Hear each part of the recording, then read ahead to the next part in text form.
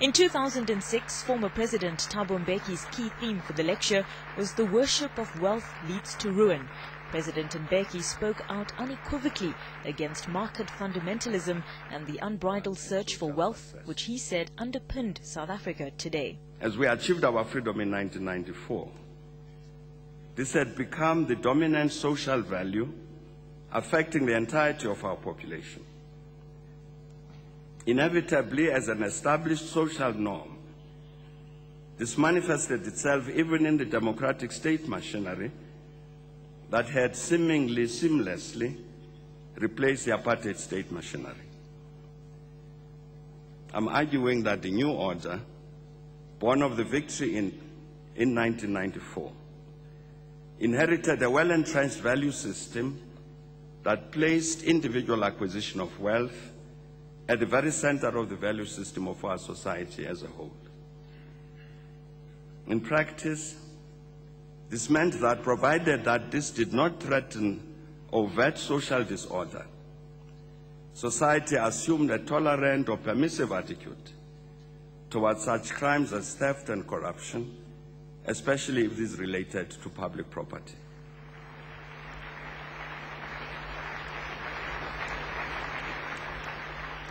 In July 2007, former United Nations Secretary General Kofi Annan delivered the lecture. His focus was on Africa's progress, saying it needed to be balanced on three pillars security, development, and human rights. Lasting peace requires more than the absence of war or the continued presence of peacekeepers.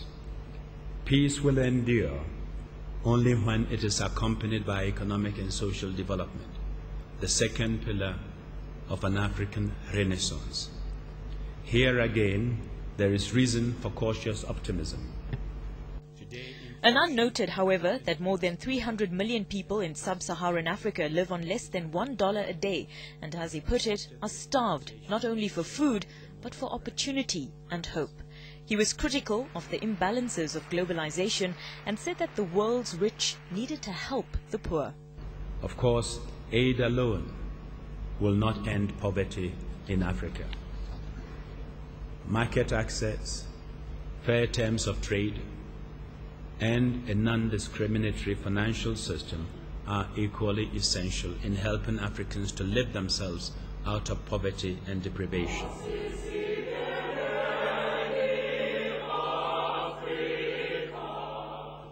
The sixth Nelson Mandela annual lecture was delivered by Liberia's President Ellen Johnson Sirleaf.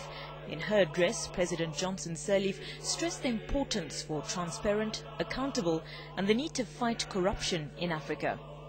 Rampant corruption is one of the key reasons why Africa is unable to deliver basic social services to its people. It is our firm conviction that Africa Indeed, Liberia is not poor, but rather poorly managed. Much of the speech was devoted to economic issues in Africa, such as debt relief, and though President Johnson Sirleaf did not shy away from difficult topics, such as corruption, her tone was upbeat and positive. President Mandela, I am often asked what I think my legacy will be. And I reply that it's for historians to decide. But it is my hope that when history passes judgment on me, it will not just remark that I was the first democratically elected woman president in Africa.